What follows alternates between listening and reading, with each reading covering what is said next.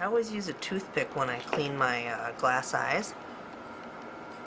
A little bit of saliva to get it wet. Cleans out all the little dust particles. Smoothens everything off.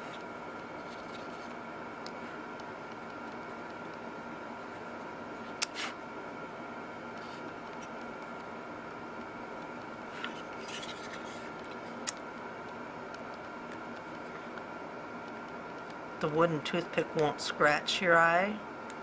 Some people use pins to go in and take care of this and it's really not a very smart thing to do at this late stage in your project.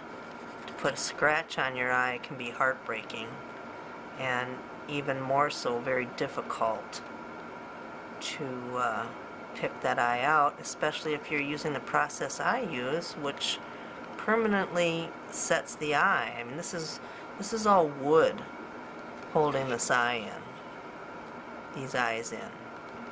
There's wood fill behind the eye. You can see a little bit of telltale remain from putting it behind the eye, but then I slide the eye in, I push it up, and then I drop it down so that it's actually the wood um, holding the eye in and then it's the wood fill behind the eye making sure it's held out.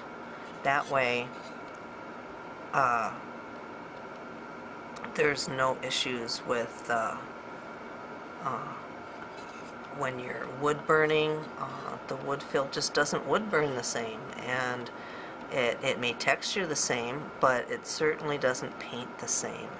And when I'm painting with oils, I depend upon this wood fill to, um, I'm sorry, the wood actually uh, absorbs some of this paint. So um, if you have wood fill around that eye, it's going to repel it.